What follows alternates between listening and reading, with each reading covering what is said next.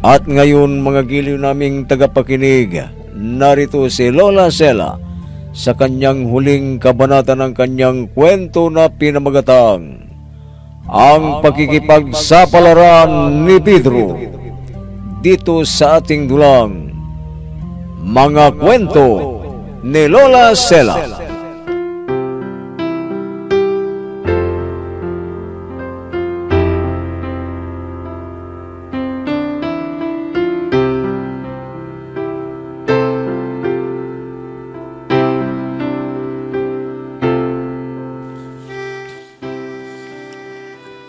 Nanghihidada ang lola ni Boy dahil isang aswang ang kanyang lola. Kaya hiniling nito na patayin niya ang lola niya. At nagdadalang isip si Pedro. At may lola din siya. At naisip din niya na kung mangyari yan sa kanya at sa lola niya, mahihirapan din siya. Alam niya na bahal na bahal niya ang lola ni Boy. Pero nakiusap si Boy na wakasad na ang pagiging aswang ng lola ni Boy. Nag-usap sila ng lola ni Boy at biglang sinali dito kay Boy ang bertod ng aswang. At ang nangyari nga, kinatatakutan ng ina si Boy Naghintay si Pedro sa harap ng bahay ng bata na may sakit. At hinintay niya ang pag-atake ng aswa sa bahay ng bata. Ah!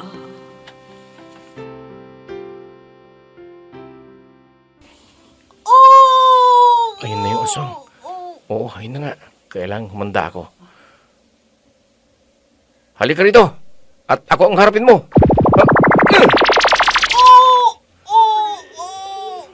Ikaw pala ngayon ang mamamatay. Ah, pa! Ngayon, natamaan kita. Ito pa ang isa para mawala ka na na namimirwisyo dito. Oh. Ah, boy! Ikaw? Bakit ang akala ko ang sabi mo ang lola mo ang aswang? Oh, may nasalin kong belt sa akin. Naawa kasi ako ng aking lola. Gusto ko mamatay siya na may dignidad. At yun ang pinangako ko sa kanya na di masisira ang kanyang pangalan. Kaya pinasalin ko. Oh, parang awa mo na, Pedro. Patayin mo na ako. Parang awa mo na. Pero kaibigan kita. Kaibigan kita, boy. Kung kaibigan mo ako, kailangan na patayin mo na ako. Sige na, patayin mo na ako. Pero hindi ko kaya. Sige na. Para hindi na ako makapanghasik ng lagim sa bayan na to. Masaya akong lililisanin ang mundo na to na natupad ko ang sinabi ko sa aking lola. Sige na, parang awa mo na. Boy, masakit sa akin. Pero ito yung kahilingan. Kahilingan mo. Napatayin kita.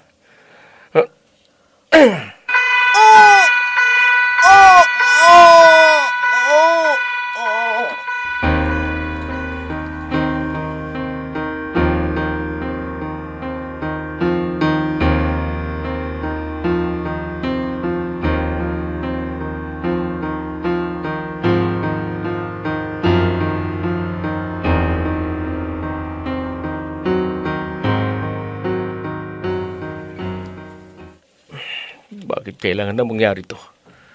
Napakabuti niyang tao. Napakabait. Bakit ako pang nakapatay sa kanya? Bakit ako pa? Siguro, dahil ikaw ang nandyan at ikaw lang ang pwede niyang lapitan. Bakit pa kasi akong nakapatay doon sa manananggal? At kasi pumayag ako na patayin ko ang kaibigan ko. Pero ang hirap ng sitwasyon ko. Ang hirap ng sitwasyon ko ngayon. Talagang mahirap. Isipin mo na lang na ginawa mo yun dahil kay Boy at sa kanyang lola. na sa mata ng tao, mabait ang kanyang lola. Sa mata ng tao, malinis ang dignidad ng kanyang lola. Alam mo kasi minsan, kailangan na bigyan ng isang desisyon kahit masakit. Kailangan na gawin dahil yon ang tama. Tulad ng desisyon na ginawa ng nanay mo. Nanay ko kamo? Kilala mo ang nanay ko? Anong alam mo sa kanya? Ano?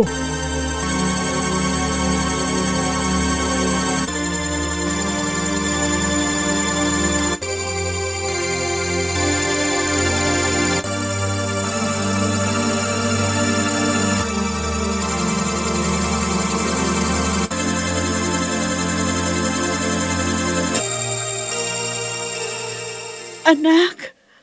Anak, boy! Anak! Kinalulungkot ko ang nangyari kay Boy, ma'am. I- ikaw ang... Nakiusap sa akin si Boy.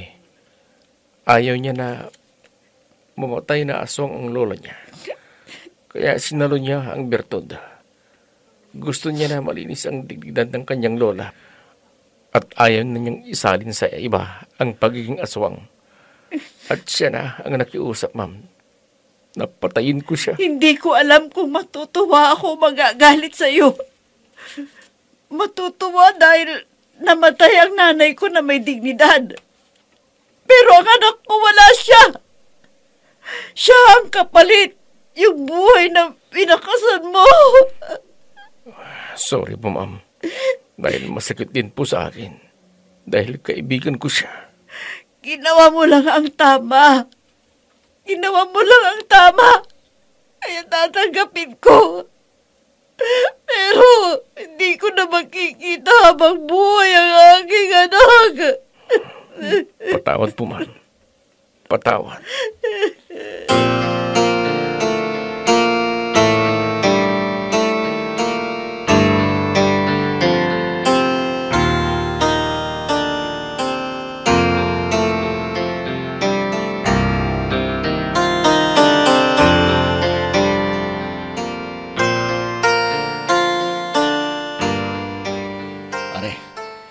Andito na yung hinanap mo na si Susan. Oo, narinig ko. Maaari ka nang pumunta doon sa kanilang bahay. Di ba sabi ng ama niya na wala doon si Susan at kasama siya ng kanyang ina. Siguro may nangyari. Kaya napauwi sila ng maaga at tinawag si Father. Sasamahan kitang magpunta doon, pare. Alam ko yung lugar. Kaya ako na yung kasama mo para malaman mo ang kinaruruno ng iyong ama.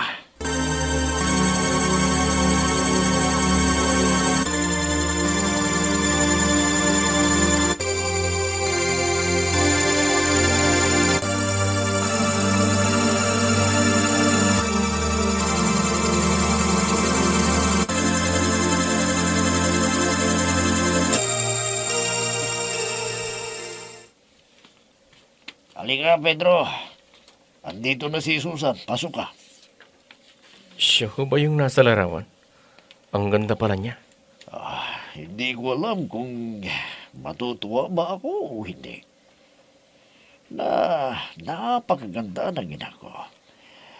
Ewan ko mula nang uh, nakurunahan siya ng binibining Santa Ame. Ayun, naging ganyan na siya.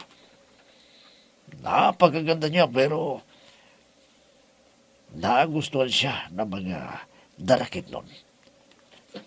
Ang nasa isip ko po, kagagawan niya ng mga darakip nun. Kaya siya nagkaganyan. Posible, Pedro. Kailangan na makausap ko siya kung paano ako makakarating sa lugar ng mga daragip nun. Binabarang ang iyong anak. Mas matindi ang barang kaysa kulam. Ang kulam ay mararamdaman mo lang. Pero ang barang, may mga elemento na ginagawa sila at kung ano-anong binubuga sa kanyang bibig.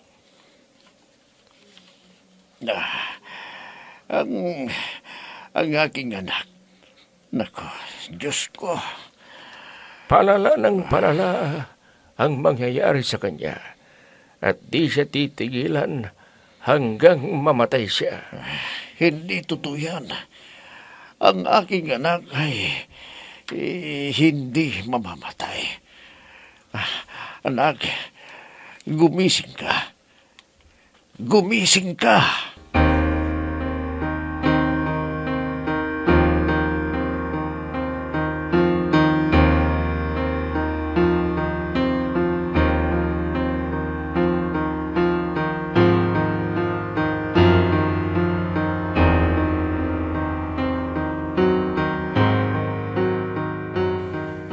Saan ako? Asan ako? Huwag! Parang awa nyo na! Parang awa nyo na!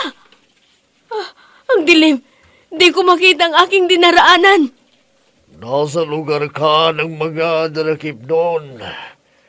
Nakita kita at napagkaganda mo kaya kinuha kita. Kinuha kita para maging asawa. Ayoko! Ayoko! Pagkawalan ninyo ako! Mga hayop kayo! Pagkawalan ninyo ako! Hindi ka na makakawala.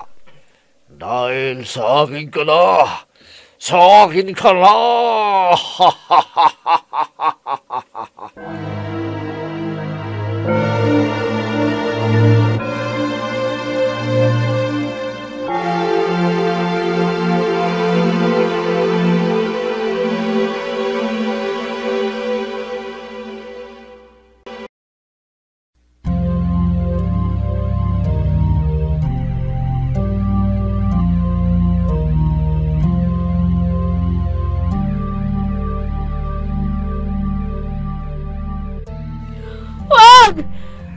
Anak, mabuti na lamang at nagising ka na. Ano bang nangyayari sa'yo? Ang mga darakip noon, andito sila. Ang mga hayop. Kinuha nila ako. Kinuha nila akong nakakulong. Mga walang awa sila. Pinapatay nila at dinarakip. Mabuti na lang at nakatakas ako. Nililang ko ang isang darakip noon na nagkagusto sa akin. Susan, nakita mo ba ang aking ama? Si Juan. Si Juan ang aking ama. Isa siyang manggagamot. Nawawala siya at sabi nila, kinuha din siya ng mga darakip nun. Nakita mo ba ang aking ama? Oo, nakita ko siya. At nakakulong siya sa mga lugar ng mga darakip noon. At gagawin siyang kasapi, pero tumanggi siya. Kaya siya pinapahirapan at ikinulong. Nung umalis ako, ang mga pinuno ng darakip noon, ay binigyan siya ng taaning para sumapi sa kanila. Alam mo kung saan ang daan? Natatandaan mo ba? Oo, tanda ko pa yun.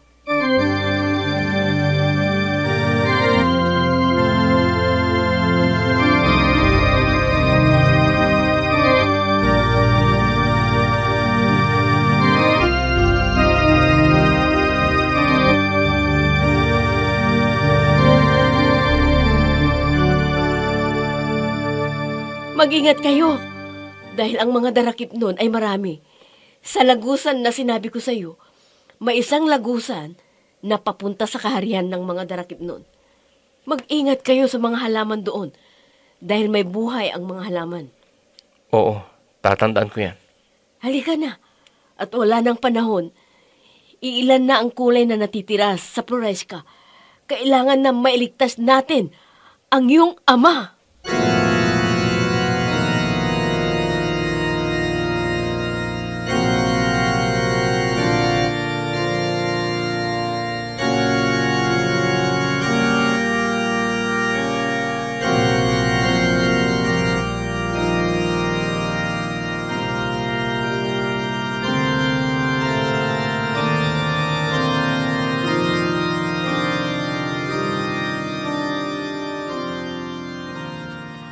Alam mo ba ang kantada na si Pantas ang traidor sa kaharian ng Floresca?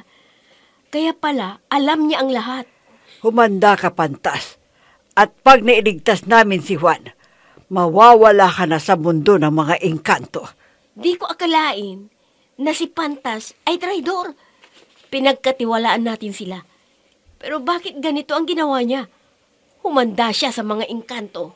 Kailangan na makarating tayo sa lugar ng mga dragip noon para mailigtas ko ang aking ama.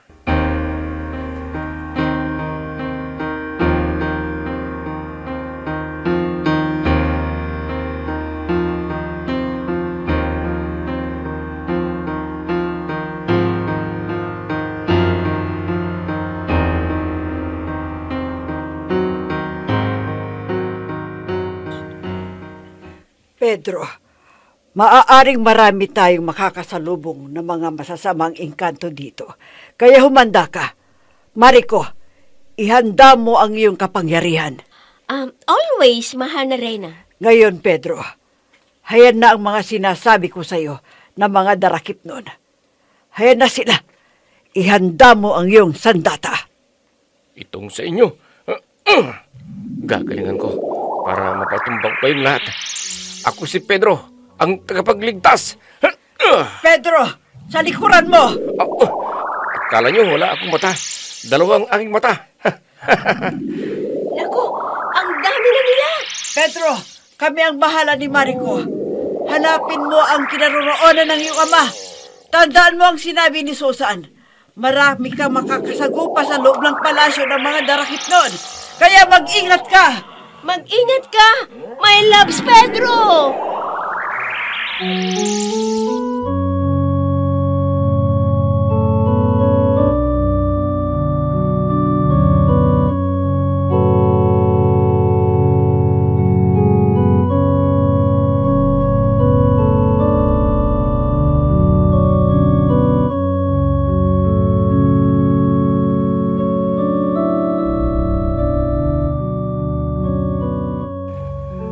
Alam ko na malapit na ang aking anak sa aking kinaroroonan.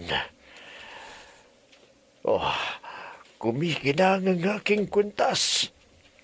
Oh, Pedro, anak. Di ka maililigtas ng anak mo dahil lampa ang iyong anak. Sa akala mo pa walang pakinabang ang aking anak.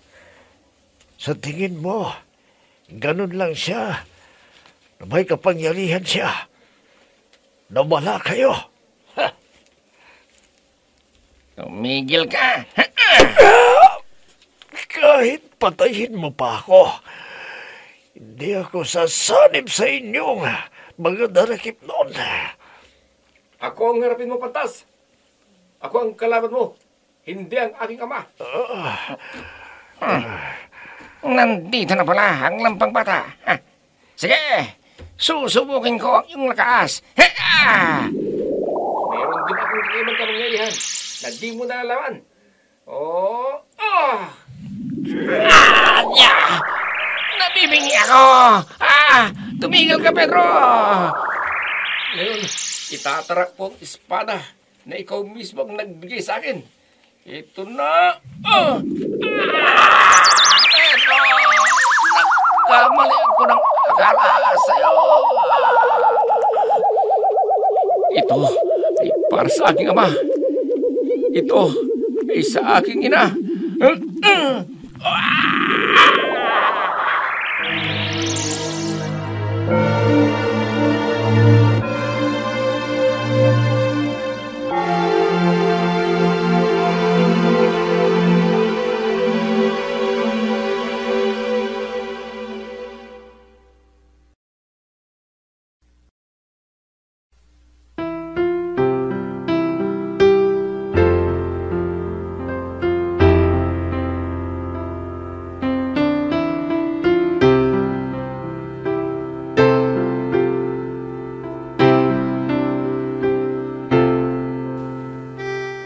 Naging matahimik na rin ang lugar ng Santa Ami dahil sa ginawa ni Pedro na pagkikipaglaban sa mga masamang at nadadakit sa mga tao at naging mahidahon si Pedro na ginawa ang kanyang makakaya para maging tahimik at masaya na ang mga tao na nanirahan sa lugar na yun. Nagpasalamat sila kay Pedro at ginawa ni Pedro ang pagtulong sa kanyang kapatao. At diyan na po nagwawakas ang pagkukwento ng inyong Lola Sela. Hanggang sa susunod na muli nating pagkukwentuhan. At ito ang iyong Lola Sela nagpapasalamat mga apo.